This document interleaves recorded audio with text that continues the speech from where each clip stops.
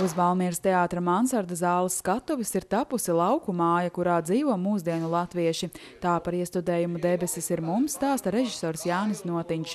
Šajā mājā saimnieko tēvs ar meitu, taču patiesais mājas īpašnieks dzīvo Anglijā. Līdz kādu dienu viņš ierodas dzimtenē, lai sakārtotu mantojuma lietas. Kā tad jūties dzimtenē smukulī?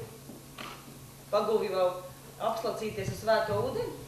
Nu, es domāju, ka hercogs mūsu sāravotos ir apveldzējies. Jau pielējies. Kā tad princesei jaunavai atnesē, neviens loks vēl nav pakaļ atjājis? Nē, mūsu princese visu laiku sēdēja ziloņa kalu tronī un lūkoja pēc savu hercogu, vai ne?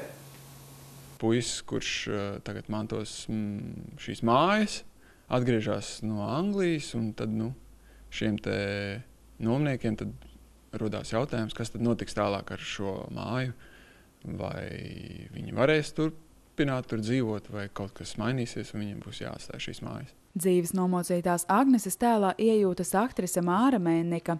Viņa kopā ar tēvu ir vienīgie no ģimenes, kas vēl palikuši laukos, audzē tur cūkas un kopa piemājas zemi. Latvijas lauki tie ir. Mēs neesam viņus īpaši izskaistinājuši un neesam arī pilnīgi tādā dubļu peļķē iemetuši. Bet, nu, tie, es domāju, tie arī ir reāli Latvijas lauki. Jo, protams, mēs varētu rādīt lauku mājas arī kā žilbinoši skaistas, kādas arī ir dažas. Bet nu, šis nav tieši tas gadījums. Un man, man, man iepriekš nu, šit, šo rudeni. Iepriekšējā rudenī sanā, sanāca diezgan daudz pabraukāt Latvijas laukiem. Es tomēr redzēju vairums situāciju, kur nemaz nav tik spoži neiet. Māras Mēnikas atveidotā Agnese bērnībā piedzīvoto sāpju dēļ ir nocietinājusies. Viņai vienai ir jāvelk saimniecība un jātiek galā ar tēvu, kurš bēdas mēdz līdzināt pudelē. Viņa ir paslēpusies, ieslēpusies tādā čaulā iekšā un ar diezgan daudziem kompleksiem, un, jo viņa ir dzīvojusi vīriešu vidē.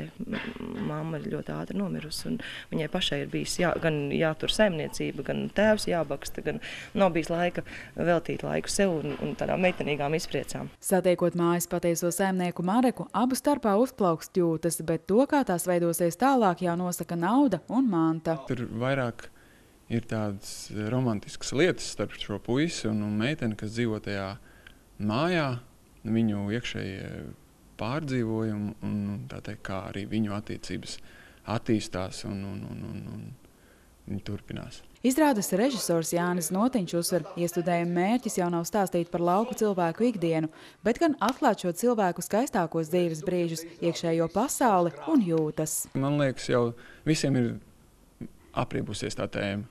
Tā aizbraukšanas projām un, un, un, un tā ķidāšana, ka tie, kas brauc prom, ir slikti, un tie, kas paliek, nu, ir baigi labie. Bet mēs tieši otrādi. Mēs tieši nevienu šī, šajā izrādē nevienu nenosodam.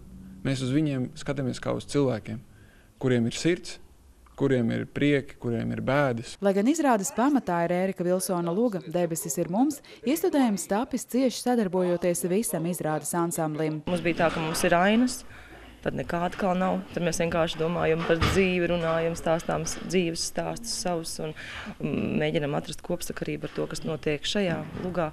Un tad, kamēr, kamēr īstenībā pēdējie teksti atnāca, var teikt, pāris nedēļas pirms, pirms izrādes.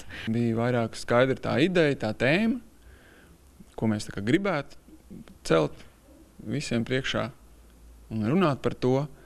Tad mēs uzrunājām Eriku, Eriks piekrita, un tā arī notika.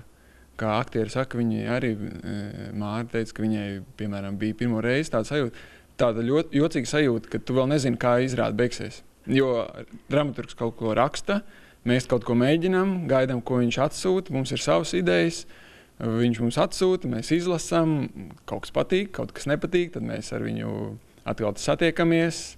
Viņš uzklausa mūsu domas, un tad tāds kopējs, un tad mēs tās līpējam, slīpējam, slīpējam. Tad nonākam pie rezultātu. Tiešām process bija nu, tādā ziņā ļoti interesants. Izrādes telpu veidojas Jānis Notiņš kopā ar Ričardu Milleru. Savukārt kostīmu mākslinieca ir Inga Apine.